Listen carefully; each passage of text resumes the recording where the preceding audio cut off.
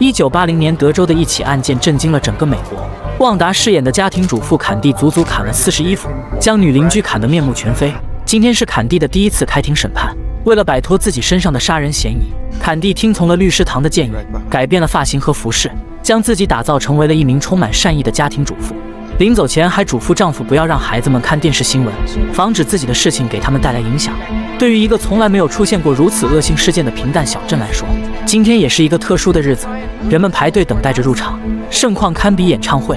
莱恩法官也把审判地点改为了小镇的旧法院，因为这里可以容纳更多人。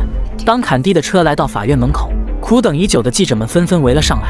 坎蒂连忙把烟掐了，戴上了一副金丝边眼镜。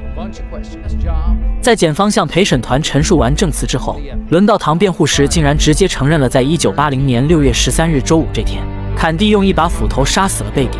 检方和所有陪审员都惊呆了。可唐接着说，坎蒂这么做的原因，完全是出于正当防卫。之前没和媒体公开过案件细节，将会有现场唯一活下的人坎蒂亲口讲述。走出法院的唐告知所有媒体，真相有时候是很惊人的。希望那些对案件先入为主的人们最好有些心理准备。随后，他走到教会牧师罗恩的面前，让他认真想想坎蒂平时在教会的言行。他的证词对坎蒂来说非常重要。坎蒂回家后，看到丈夫以及孩子们在吃饭时全都沉默不语，想用即将到来的万圣节缓解这种尴尬的气氛。女儿突然说起她的同学想扮演拿着斧头的坎蒂，但她的父母不允许。现场空气宁静了下来。坎蒂告诉女儿，吃饭的时候不适合谈这个。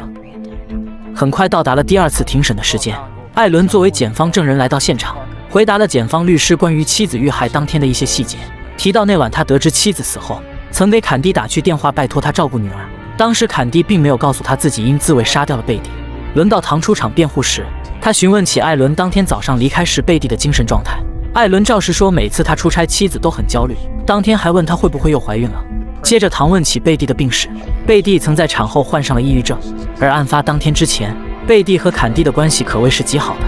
艾伦回归家庭后和坎蒂并不怎么联系，于是排除了坎蒂为上位才杀掉贝蒂的可能。而杀掉贝蒂的那把斧头是在家里的车库里，只有自己和妻子知道斧头的位置。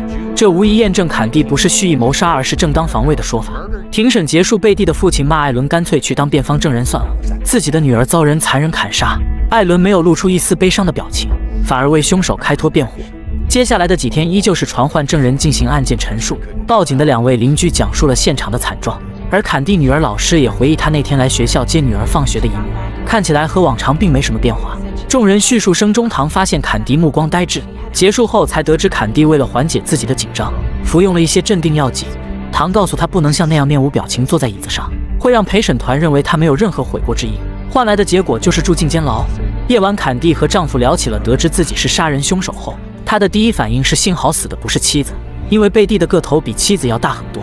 听到此话之后，坎蒂开始后悔自己有幸福美满的家庭，却想要更多。第三轮庭审出席的是负责调查此案的警探，现场的血腥场面他们也从没见过，而各项证据都指向了坎蒂。面对不利的证词，唐的反击也很犀利。根据警探多年办案的经验，现场留下大量的血迹，还有毛发，甚至还有坎蒂断掉的脚趾甲。门口还停着他的车。如果坎蒂蓄意谋杀贝蒂，怎么可能会选择如此笨拙的凶器，以及遗留下如此拙劣的作案现场？接下来就是最关键的法医证词。唐知道，唯一无法解释的是坎蒂砍了贝蒂四十多斧，怎么说这行为都不是正当防卫能做出来的。第二天，法医坐上了证人席，向在场的所有人陈述贝蒂身上的伤口，死者身上几处非防御性的伤痕位置，证明凶手在死者无法抵抗的情况下，依然继续猛砍死者。有处伤害甚至是斧头卡在了死者的头骨里，而凶手抽出斧头后继续砍了几下，足以证明凶手的血腥残忍。唐赶紧询问法医是否能够证明两人是谁先动手，法医表示自己不能进行判断。得到确定的答案之后，唐表示辩方已经询问完毕。不料法官看时间还早，提前要求辩方的首位证人上台。唐看到坎蒂的神情，明白他还是吃了镇定的药，于是想要和法官协商将时间延期到明天，可法官却当场拒绝了他的请求。表示只能给他十分钟时间，嗑药的让自己平静的坎蒂能否为自己辩护成功呢？下一集我们大结局见分晓。